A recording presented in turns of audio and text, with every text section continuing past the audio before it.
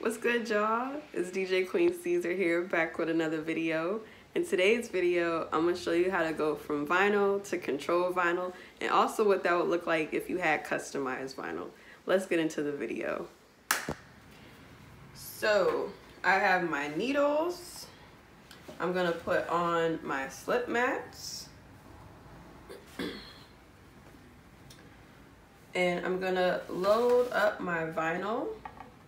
We have MC Lyte, Cha Cha Cha.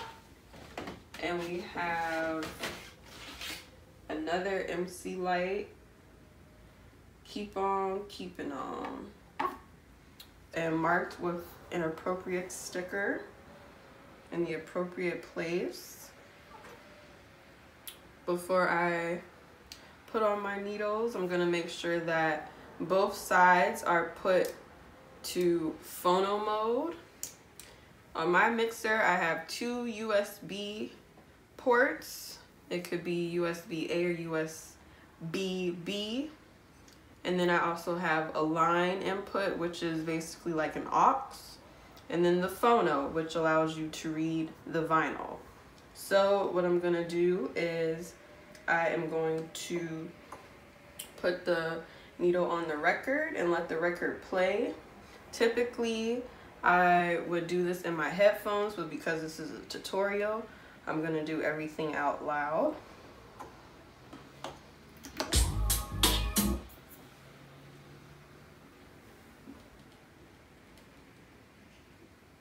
I'm gonna get the top of the track.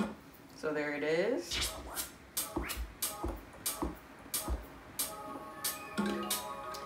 As this track is playing, I'm gonna cue up the other MC Lyte track.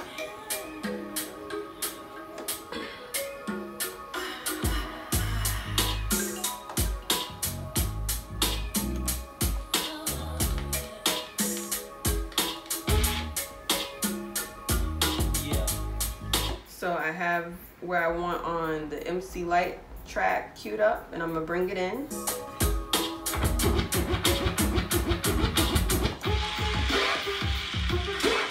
I'm gonna take the other MC Lyte track off.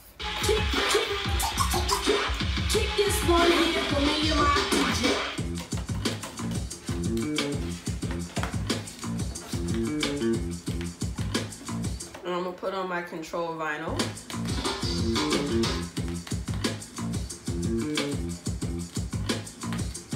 I'm gonna take the control vinyl now and change the mixer to USB A, which is the port that is connected to Serato. I'm gonna cue up the top of the record and then I'm gonna bring it in. Then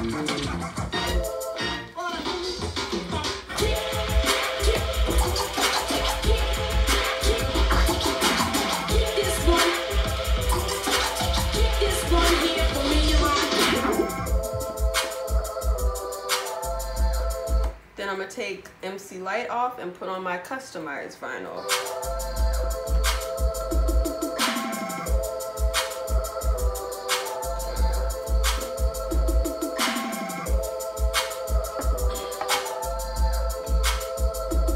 I'm gonna make sure that this side is turned back to USB A because we no longer are using real vinyl. So we're back into USB A mode.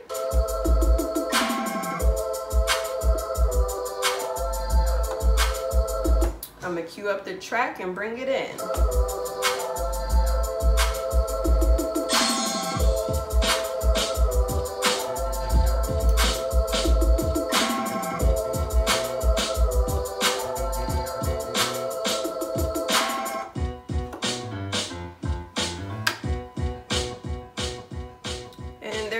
That's how you go from vinyl to control vinyl to customized vinyl, which is basically the same thing as control vinyl.